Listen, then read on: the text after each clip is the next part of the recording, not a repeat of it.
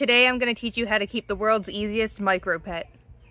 We're going to start off with building the habitat for it. And if you're not interested in having some little critter living in your habitat, this is still a good video if you're into houseplants because you can make it just a plant terrarium if you wanted to. So first things first, you need to pick out your terrarium. I was unable to find any terrariums that worked for the situation locally, so I got this on Amazon. They had all kinds of different shapes and sizes of these, and it even came with these cute little tools. So once you pick that out, you want to get some screen and cut it down to size so that it fits your enclosure. So once you make sure that it fits properly, you're going to want to put something in the bottom to help with drainage. You can get little clay marbles, or in this case, I'm going to use pea gravel.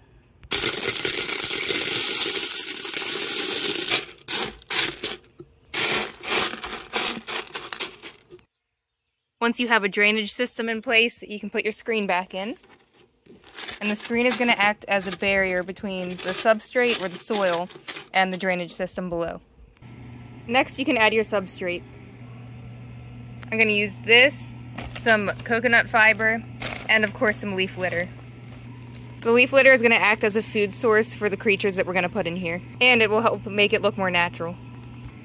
I put in a layer of coconut mulch first, just to help give it some additional drainage, and now I'm going to add the finer soil. You want nice fluffy soil so that your little pets can easily move throughout the soil.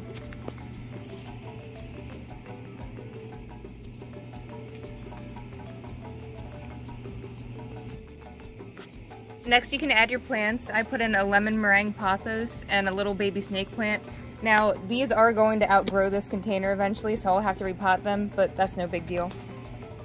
Air plants are yet another good choice for this type of habitat. So you want to make sure you water your plants and mist down the substrate once everything's in place. You want it to be moist but not saturated. Now we're going to add the leaf litter.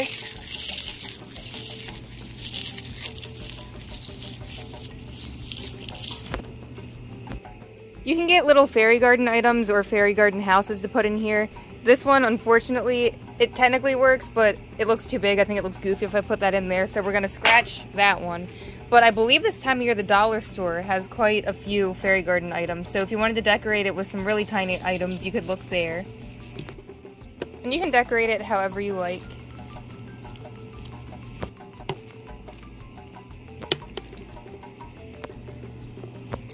I also got some of these.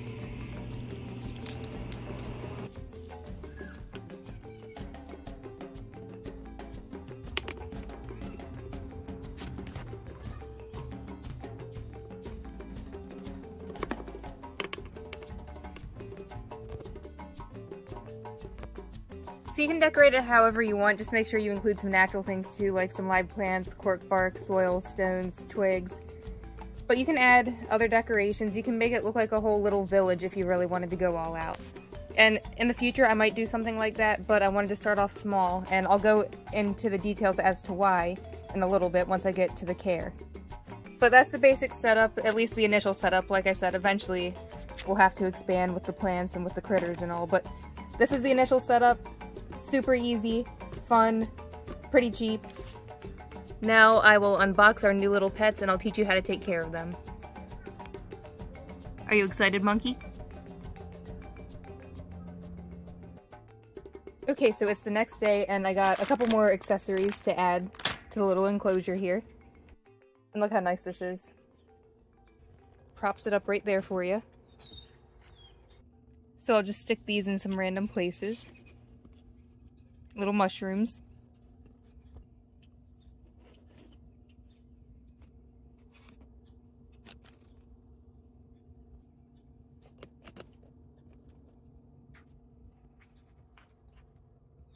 So now, more importantly, we can unbox the isopods. I got these from TC Insects, and they got here very quickly. I've never bought from them before, so I'm excited to see what's in here. But they had a huge selection of different kinds of isopods on their website, so check them out if you want to start getting into these. You can also find some of these on Josh's Frogs, but I noticed that TC Insects had a much larger selection. If you go to a local reptile expo, you can also find a lot of vendors at the shows that are selling isopods too.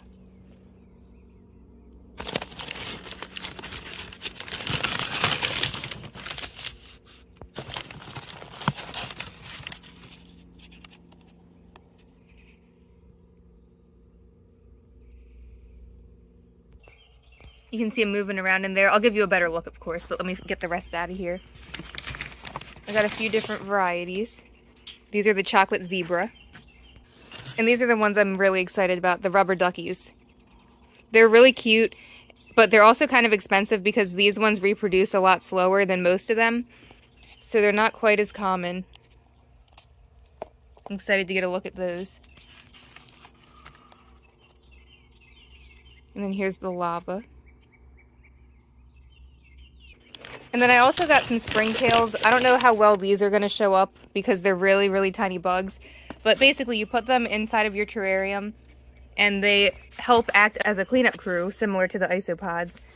And they're going to eat mold and waste and any kind of uneaten food, decaying plants, similar to the isopods, but these guys are kind of like their sidekicks. They help.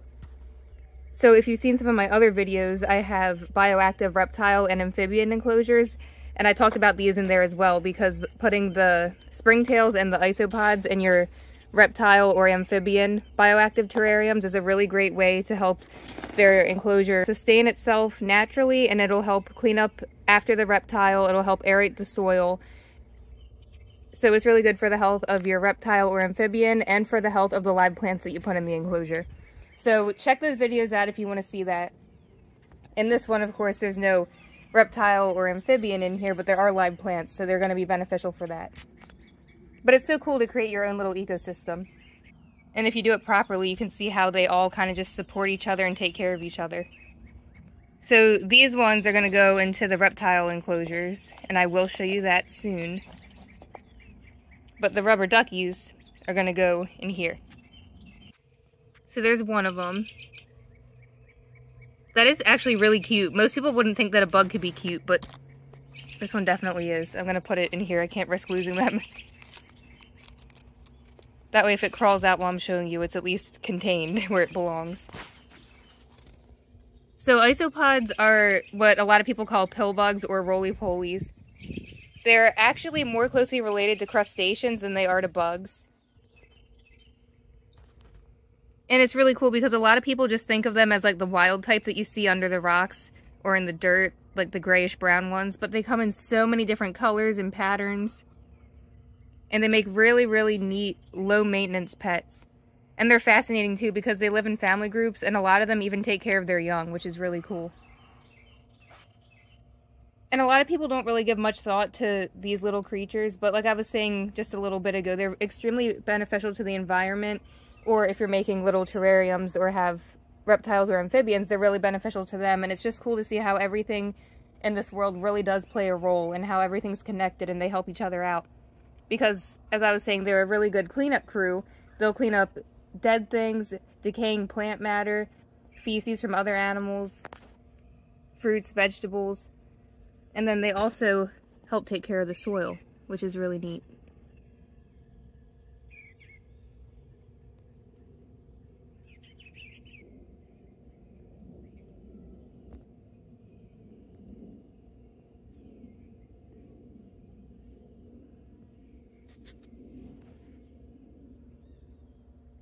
So you can see when they ship them, they give them a carrot as some food. And I'll go over a little bit more information on their diet in just a second. There's the rest of them.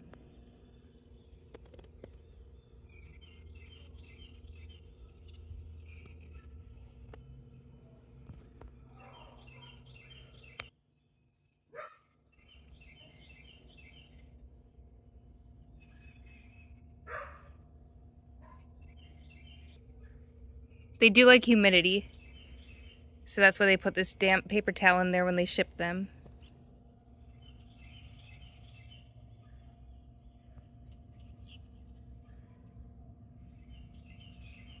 And look, I'm not a bug person. I'm scared of bugs, so if I'm able to get this close to them and not be afraid, then you know that these things are pretty cool. Even though, like I said, they are more closely related to crustaceans than bugs, but you know what I'm getting at.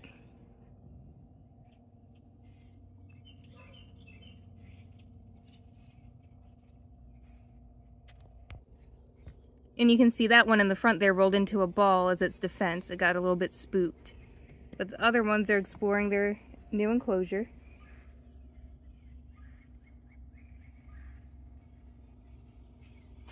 That one is also in its little defense. Put it over in the soil.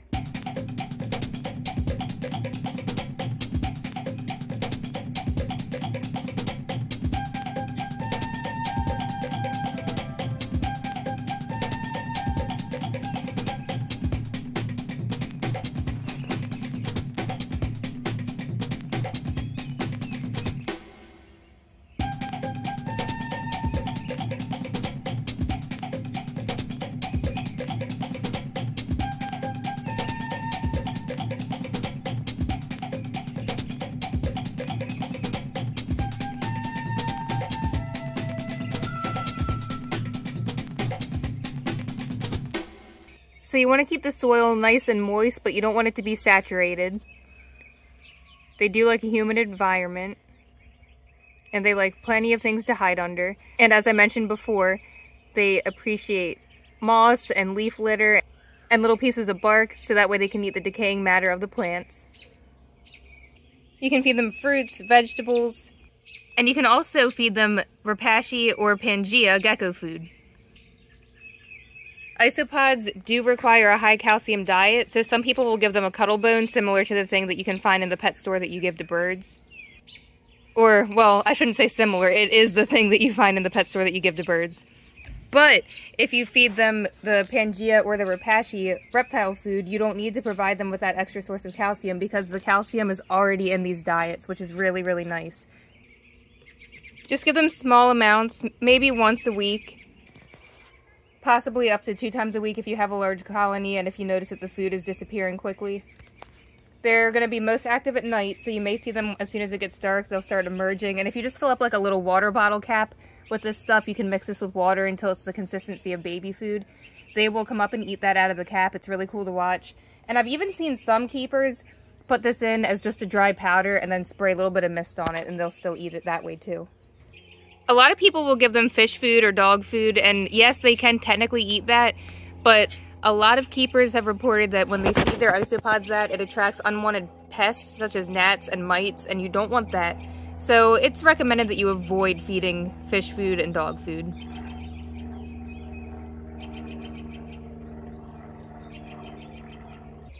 Isopods can live for an average of three to four years. They are fairly easy to breed under proper conditions and they can have large broods. So if you have the proper setup for them, you won't really need to replace them because even though they'll die off around three to four years of age, they'll have lots of offspring to carry on in their place.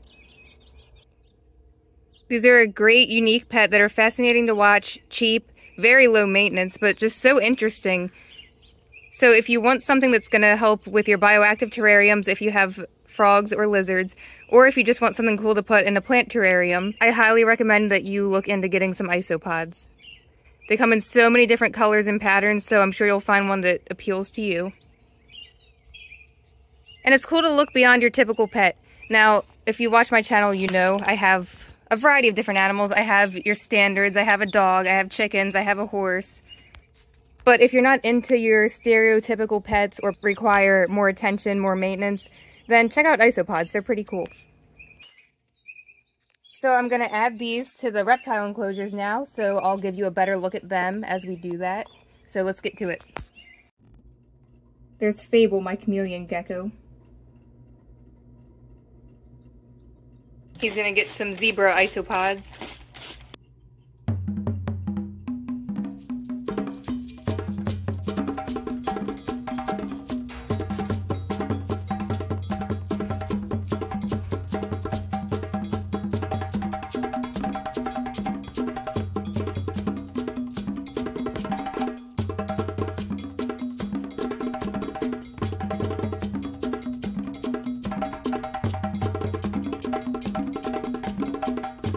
I also breed crested geckos, so these guys are going to go in the big breeder tank.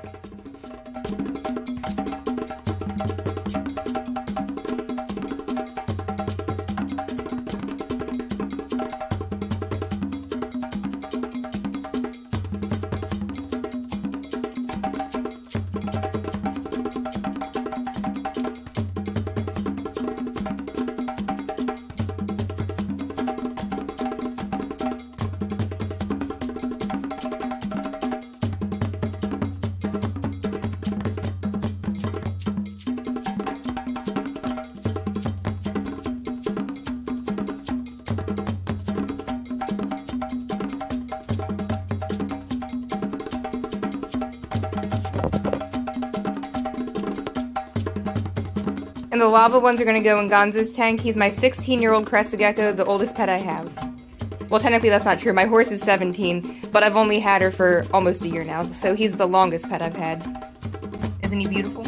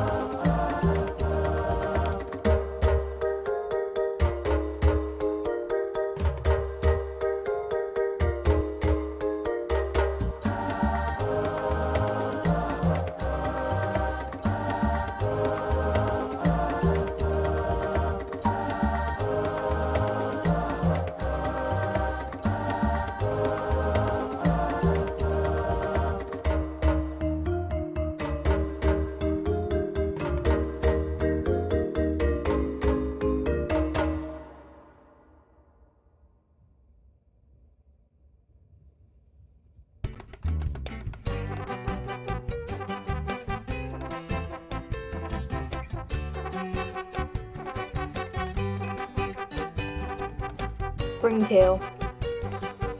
Going in.